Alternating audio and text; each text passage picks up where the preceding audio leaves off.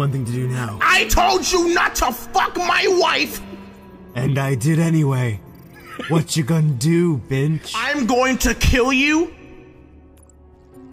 and then kill you again. Two Hey bitches, what's up? anyway, I also saw that uh, this this guy over here fucked your wife. That's pr- that sucks a lot, dude. You must be uh, pretty uh, shaken up about that. How do you think I feel being cocked by a hedgehog? Well, it might upset you to know that I also fucked your wife. You done did it now. I'm so sick. My father's I'm here. so sick of fucking your wife. Eggman, we can make amends. But shut the fuck up! Shut the fuck up! Everybody's fucked my wife.